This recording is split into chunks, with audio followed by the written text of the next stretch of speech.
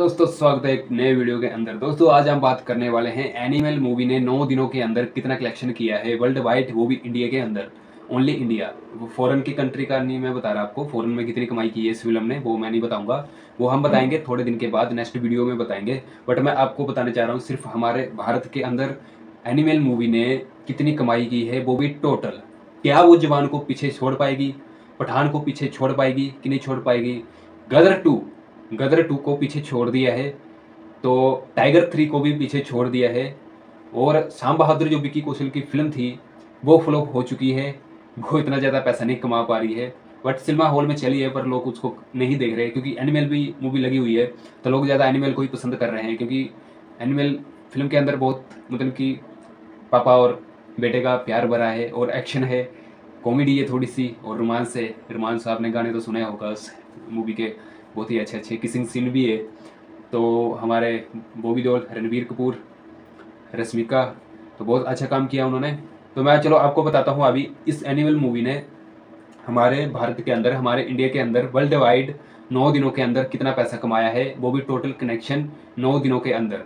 ठीक है दोस्तों, ये सिर्फ़ नौ दिन का कलेक्शन मैं आपको बता रहा हूँ। अगर आपको ज़्यादा दिन का भी कलेक्शन मतलब कि चाहिए, जब तक तो फ़िल्म चल रही है दस दिन का, ग्यारहवें दिन का, बारहवें दिन का, जब तक तो फ़िल्म चलेगी, अभी तो फ़िल्म चल रही है, उनका अभी पता नहीं चला है, अपडेट कोई नहीं है। जैसे फ़िल्म सिनेमा हॉल से हट जाएगी फिर उसका मैं एक अलग से वीडियो बनाऊँगा, पूरे मतलब कि टोटल कितने दिन मूवी सिनेमा हॉल में चली है, और टोटल कितना पैसा कमाया है, वो भी हमारे इंडिया के अंदर भी फॉरन के अंदर भी, उसके लिए मैं अलग से वीडियो बनाऊँगा।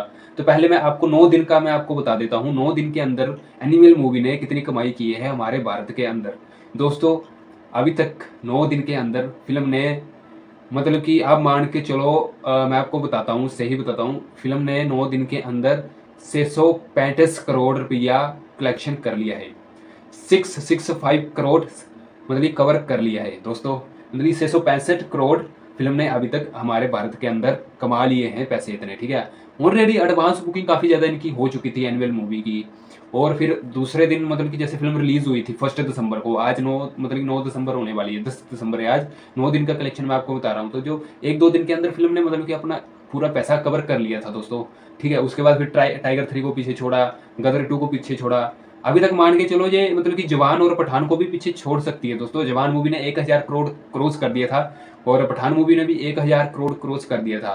पर ये मूवी अभी मतलब कि काफ़ी तेज़ी से ग्रोथ कर रही है। यानी कि ये भी मतलब कि शाहरुख खान की मूवी पीछे छोड़ सकती है एनिमल भाई साहब। मतलब कि अभी तक बात करूँ नौ दिन की, नौ दिन में छः सौ पैंतीस करोड़ रुपया कवर कर लिया है। आगे भी मतलब कि बहुत अच्छा बिज़नेस कर रही है ये फ़िल्म सिनेमाघरों में। मतलब कि ताबड़ तोड़ कमाई कर रही है और इसका रिव्यू भी बहुत अच्छे से मिल रहा है इस फ़िल्म को ना, बहुत अच्छे से रिव्यू लोग दे रहे हैं। जो भी लोग सिनेमा घरों से बाहर आ रहे हैं मूवी देख के तो ऑडियंस इंटरव्यू लेती है और इंटरव्यू दे रहे हैं। लोग रिव्यूज़ अच्छे अच्छे दे रहे हैं, बहुत अच्छी स्टोरी है, बहुत अच्छे गाने हैं। एक फादर और बेटे की बहुत अच्छी मतलब स्टोरी दिखाई गई है, वो भी का बहुत अच्छा कैमियो रोल है इसमें। तो सब कुछ मतलब अच्छा रिव्यू मिल रहा है इस फ़िल्म को। और इस फ़िल्म ने नौ दिन के अंदर अच्छी कमाई की है मेरे हिसाब से तो इंडिया के हिसाब से तो वर्ल्ड वाइड से मतलब कि नौ दिन के अंदर छः सौ पैंतीस करोड़ ठीक है वैसे, है ना? तो आगे भी फ़िल्म ग्रोथ कर रही है। आगे देखो, जब तक फ़िल्म चलती है, तब तक कितना कमाई होती है, नहीं होती है, वो हम अलग से वीडियो बना के आपको बता देंगे।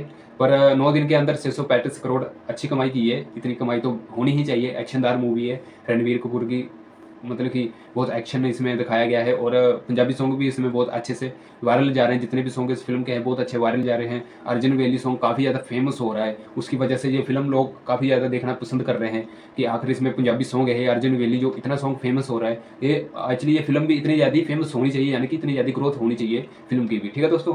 आज का रिव्यू अच्छा लगा हो तो लाइक कर देना। मेरे इस छोटे चैनल को भी सब्सक्राइब कर देना, छोटे से बड़ा बनाते हैं इस चैनल को।